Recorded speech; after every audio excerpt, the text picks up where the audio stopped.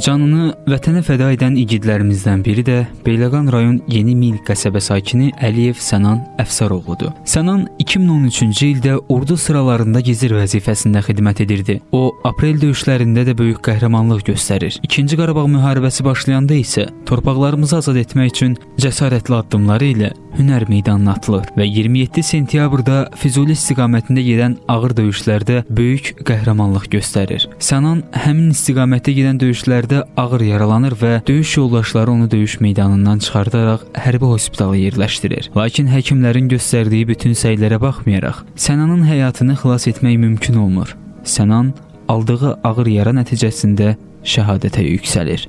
Snaryad qəlpəsi yaralamışdı. Hətta yaralı-yaralı öz yaralı yoldaşlarını xilas etmişdi və sonra özü də yaralı həd, hədsiz yaralanmışdı.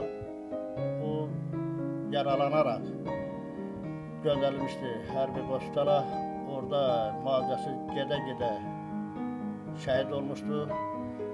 Allah bütün şəhidlərə rəhmət eləsin. Şəhidlərin qarşısında baş əyirəm.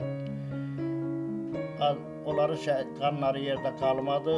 O cümlədən, o cümlədən bütün gizir və zabitlərimiz, əskərlərimiz sağ olsunlar. Azərbaycanın Qarabağ torpağını azad elə, işğaldan azad elədilər. Füzuli rayonunun istiqamətində döyüşlərdə şəhid olmuşdur. Mən onunla fəxr edirəm. O döyüşə gedəndə bizə heç nə deməmişdir. Səssiz də, xəbərsiz getmişdir. Onunla fəxr edirəm.